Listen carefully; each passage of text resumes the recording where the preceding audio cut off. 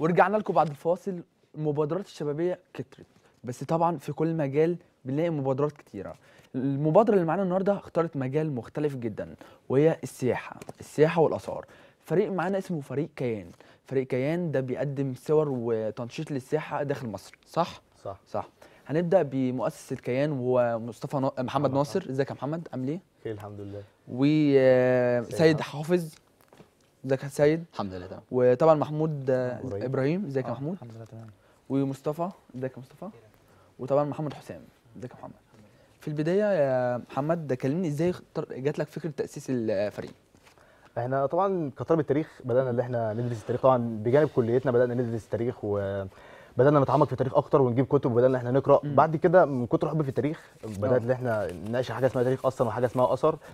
فقررت إن أنا أنزل الأماكن الأثرية. لازم أنزل على أرض الواقع أشوف الأماكن الأثرية دي. امم بعد ما نزلت الأماكن الأثرية حسيت فعلا إن أنا يعني مش مكان أثري لا أنا في بيتي. آه. فطبعا جت بعد كده جت فترة الكورونا مم. فإحنا قعدنا في البيت فحسيت باشتياق للأماكن الأثرية دي وحبيتها جدا. فقررت بعد كده إن أنا أعمل مبادرة. إحنا قاعدين بنتكلم طبعا أنا وأصحابي. فبقول لهم يا جماعة إحنا عايزين نعمل لينا كيان عايزين يبقى لينا كيان. فهو خلاص قالوا إحنا كده هنسمي البيج بتا... هنسمي اسمنا نبقى كيان. ومن هنا بدأنا إن إحنا نعمل كيان وبدأنا إن إحنا ننزل آه، زيارات نعمل إيفنتات وننشر الوعي الاثري والسياحة الداخلية. جميل. آه هننتقل تاني لسيد. نعم. ازيك يا سيد؟ آه ليه اخترتوا السياحة الداخلية؟ آه، اولا السياحة الداخلية من أهم الحاجات اللي إحنا لازم نهتم بيها. ليه السياحة الداخلية مش واضح حقها قوي في مصر فلازم إيه؟ لازم نهتم بيها. فإحنا كطلبة بدأنا نشأنا في حب التاريخ والآثار ونتعمق في الآثار. فلما بدأنا ننزل ايفنتس ونتعرف ونعرف الأثر الجميل ونشوف جمال الأثر ونشوف حلاوة ال- المكان والتاريخ فبدأنا حاسين إن الناس اللي حوالينا إحنا ما تعرفش الجمال ده. ما تعرفش الجمال ده. فحبينا نوصل لهم جمال وعظمة التاريخ. لما مثلا أنا واحد كمرشد سياحي بنزل المكان باجي بحاول أقدم كل اللي أنا أقدر من معلومات وثقافة وأبص قدام الأثر كده وأبينه وأبين جماله وأبين حلاوته.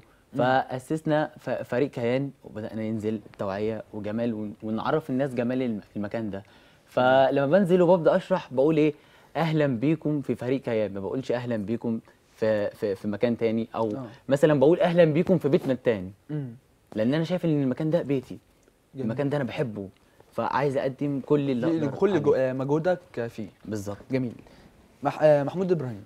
آه. محمود آه إزاي بتختاروا الناس اللي بتنضم لكم؟ هو مفيش والله إحنا كنا ماشيين في الكلية فقابلنا محمد حرب فأنا اتعرفت عليه. أنتوا كلكم في كلية إيه؟ إحنا كلية الأزهر جامعة الأزهر. تاريخ.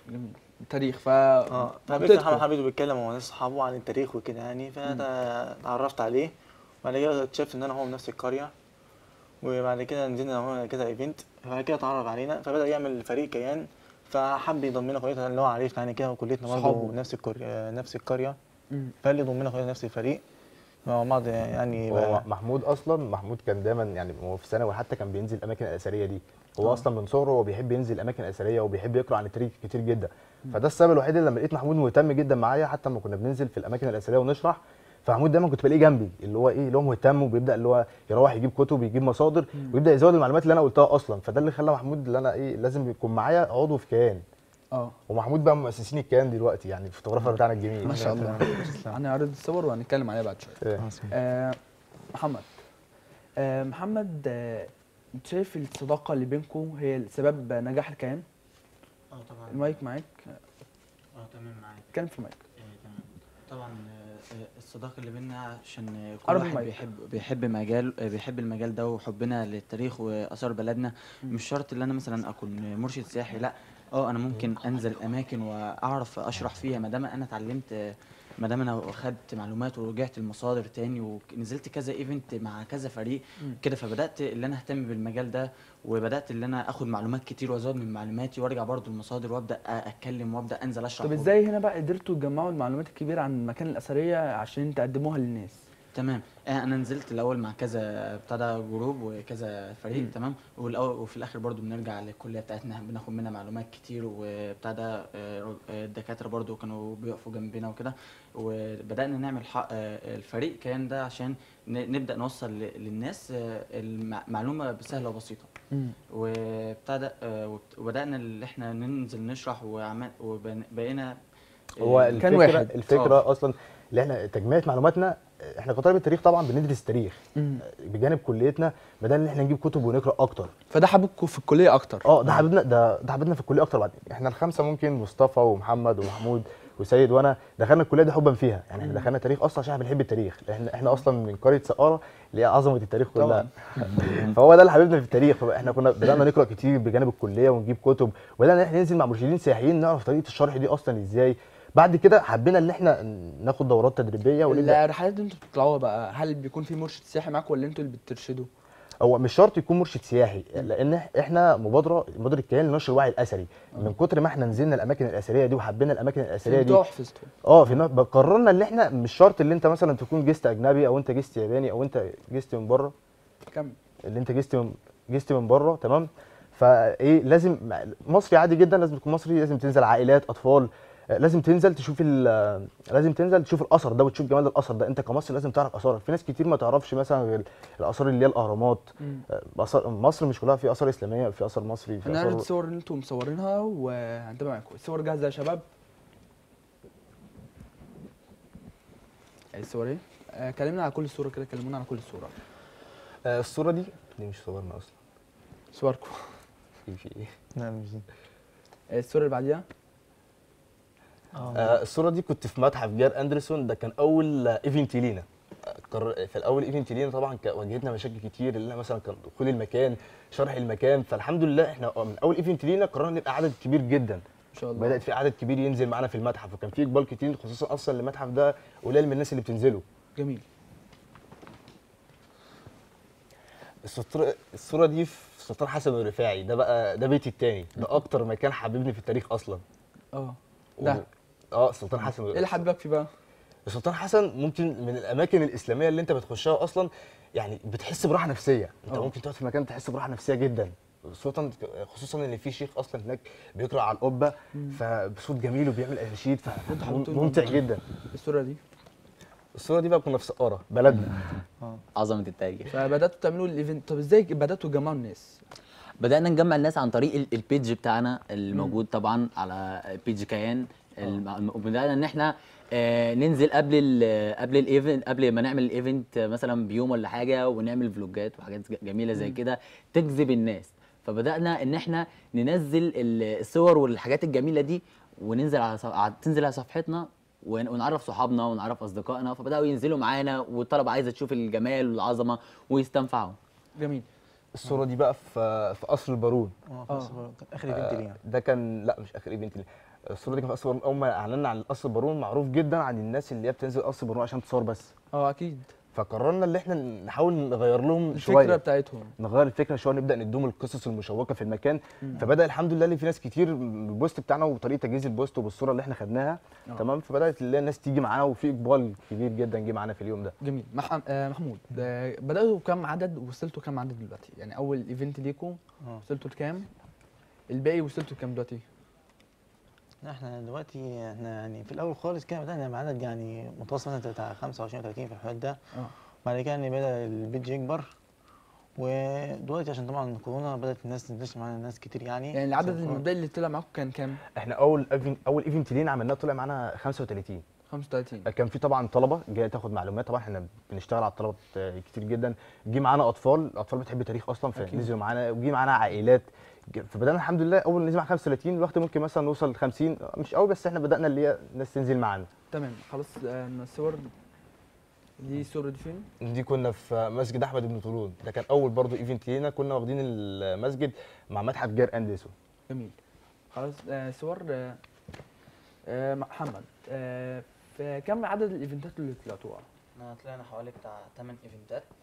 أو سبعه وكلهم مثلا بن- في المايك معاك آه، معلش اتكلم في المايك كنا بن- 12. بننزل نشرح برضو للناس ونوصل لهم آه، معلومة. بطريقة بسيطة ونوصل لهم المعلومة بطريقة بسيطة برضو.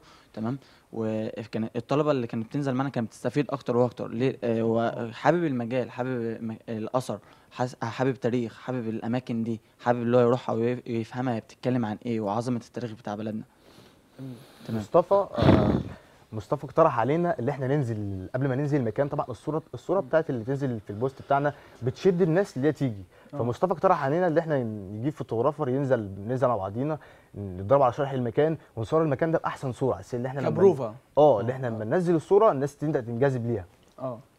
مصطفى كان آه، من team ال- الشخصيات الجميلة جدا. ومؤسسين team كام من مؤسسين ال team بس هو إيه آه، مش قادر يتكلم أو تعبان شوية فأنا اعذره طبعا نديله كامل العذر وحابب يدي لفريقه آه، راحة في الكلام فده يشكر عليه جدا ومن الشخصيات الجميلة جدا مصطفى كنت منور. آه نرجع تاني ال event أول event أنت قلت وصلت كنت 35 آه. آخر event ليكم وصلتوا لكام؟ آخر event لينا وصلنا 37 آه، 47 واحد بالظبط. 47 آه. إيه خطواتكم الجاية؟ إحنا عندنا مبادرتين هنبدأ نشتغل عليهم الفترة الجاية ودول يعتبر أهم مبادرات لينا. عندنا آه. مبادرة اسمها اعرف أثرك في محيط مدرستك. وعندنا مبادرة ثانية اسمها قصة أثر. جميل. مبادرة اعرف أثرك في محيط مدرستك يعني فرضا مثلا في كلية جنبيها في جم... جامعة مدينة نصر أزهر جنبيها قصر البارون. معظم الطلاب دول ما يعرفوش إيه قصر البارون أصلا. فقر- فقررنا إن إحنا نعمل المبادرة دي اللي إحنا نجيب الطلبة دول أو مثلا إحنا ننزل في الشارع نعرف الطلبة دول إيه الأثر ده وإيه أهمية الأثر ده وإيه قصة الأثر ده. نبدأ نشوقهم ليه؟ المبادرة الثانية اللي هي قصة أثر.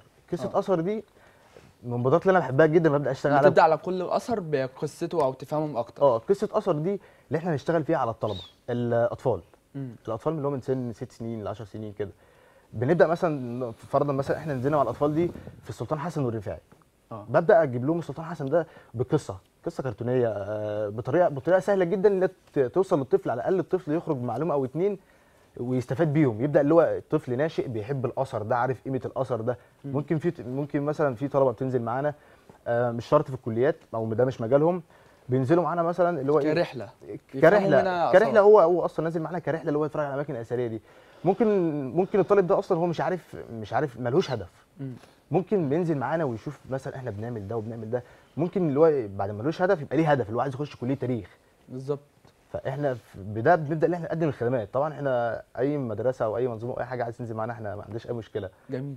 آه سيد.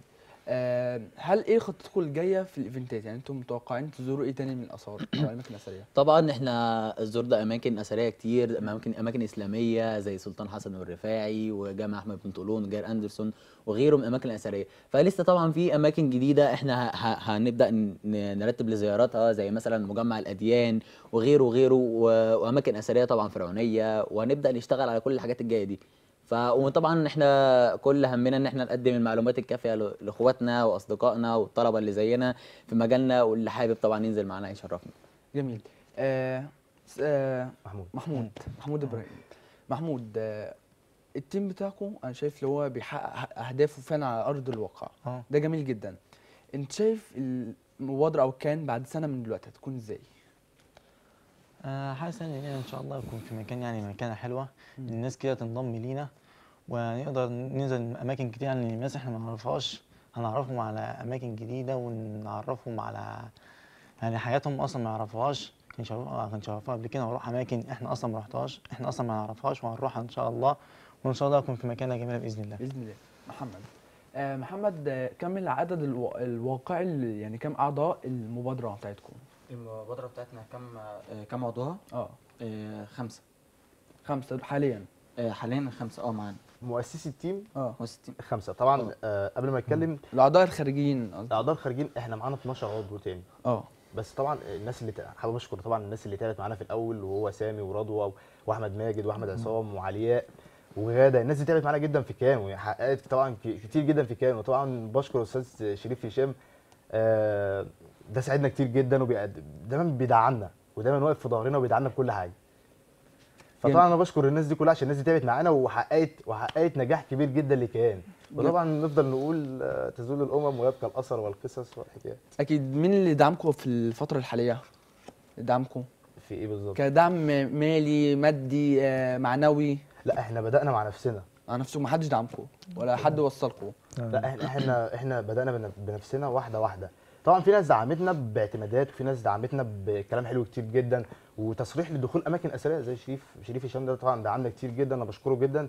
وأستاذ حسام زيدان ودكتورة داليا جباري الناس دي بصراحة غالية عليا جدا أنا بشكرهم جدا جدا. وأنا بشكركم جدا أنتوا كنتوا منوريني وفعلا تسلم. من الأفكار الجديدة جدا واللي متوقع لها نجاح باهر. بشكرك طبعا يا محمد بشكرك يا سيد بشكرك يا محمود بشكرك يا مصطفى اللي ما كانش عايز يتكلم بشكرك يا محمد وحسام أنتوا كنتوا منوريني. وده كان ختام حلقتنا. انتظرونا والأسبوع الجاي وحلقة جديدة من برنامجكم بين الكلمات.